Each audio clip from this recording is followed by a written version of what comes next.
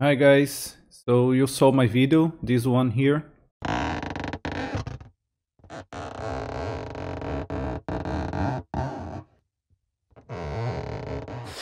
It was not inspired, not copy, but based on the setup of this guy.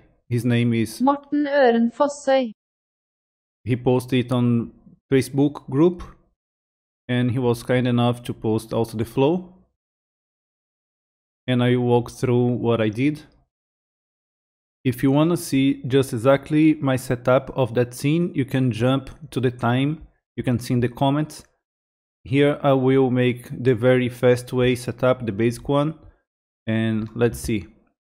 The first thing that you need is to animate those spheres or any other object and also have a mesh that will work for the setup. Here is just basically a cylinder that I modify slightly and then we put Tyflow. X Tyflow birth object. Next cloth bind. Later on if you want depending on your scene you can enable CUDA collision. Next we're gonna add surface test distance because now we're going to bind the spheres to the cloth. Physics switch and object bind. This will deactivate the part that the sphere are looking at and bind will bind those exact particles to the sphere. Okay, so here in object bind we need to put those spheres. So I select those here and add selected to see what's going on, we need to face test, of course, also is already selected, so added. So here in distance, you can see what's happening. These we're going to tweak to your scene. So it's already bind. So if we animate, it's already working. That's the hello world of the scene. The way that we can improve it is to put modifying bindings.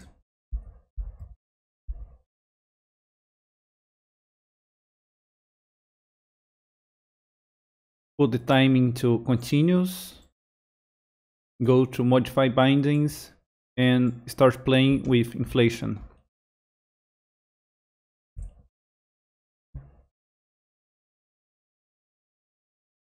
So now looks funnier, but you see that it's colliding with the passing through the floor. That's why we add collision. And you're gonna test if you collide with the floor. So now no longer it's getting flat over the floor. So to this point, that's the very basic, exactly what the guy did. But for my scene, we went further and make it floating and so on. So here, how you do that. You can hold modify binding and drag out. In here, you put inflation. You just modify to, you know, 2 and float force 0.5 and what you want is those two setups go into here after a while. What you do, time test, after 60 frames run this event, right? That's counting from zero. Anyway, you copy it, hold shift and drag to the other scene. So you just copy and you're gonna bring it, connect here. If the line is hiding, you can right click add point just to organize if you want. So from the frame number 60, it will start to inflate even more. Boom. So let's say that after 100 frames, just shift and drag, it will just break. So what you do, you put cloth binding, drag out here. And now you want to change from shape to cloth, but cloth to shape. Once you do that, now you have a solid object and you want to fracture and give physics shape. Physics shape will make it interact and hit the ground and so on. So you connect, it's going too far. Here you can put slow, 50%. Here I will just give more frames. That's the very, very basic setup what I did. Here you learn how to use different events, the relation between them. It's very easy step by step. So it's basically three events. One here that make it move, the other make float, and the other that make it break. The continuation of this video is me just going through my exact scene. So you can see exactly what I did, but the core of my setup is this one. The only thing that I animated in my scene was those two spheres, and all the rest of animation is Tyflow. These are sphere 1, sphere 2, and the other object that I create was cylinder. This guy. That's the how I created. It was just a plain cylinder. And just edit a little bit. Move and UV map to give the gradient. And then I create birth object cylinder. Let's now hide and show Tyflow cloth binding just convert to cloth and surface test I test those cylinders the distance until they start to grab the vertexes. Well, my value is 3.1. That's all we need to do here. Collision with the plane. Modify bindings is to give the, the body some volume. So I give a inflation. Also, you can play with the float force and it's important to put to continuous. Time test.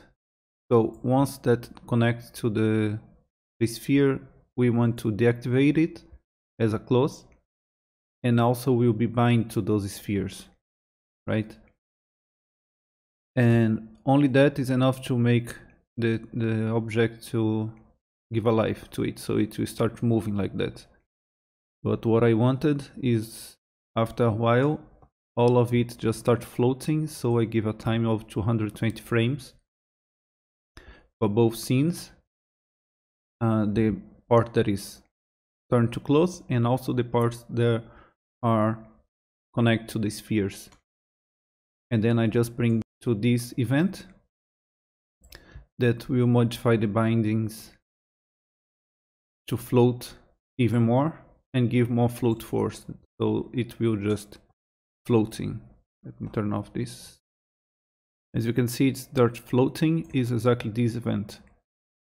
It's also good to put a slow speed to art direct the event so you not just like move very fast. So I reduce to 50%. Also give a time test after 100 frames. Once this event enter, it will count 100 frames. Otherwise you can put frames specific one. So event age is the default. And then once enter here, it will break. It will first will convert from cloth to shape. Normally when you put this operator is shape to cloth, but you can convert back, use the same operator. Then we fracture it. Standard fracture, I didn't do anything fancy here. Just 3000 pieces and those pieces then we convert to shape so we'll interact with the floor and will be object slow speed you know uh, this is the new feature of Tyflow 16097 that temporary smooth will stop those jitters that can happen this kind of scene that pieces will start moving very fast and quietly. So now this is very nice. For today, that's all. Thank you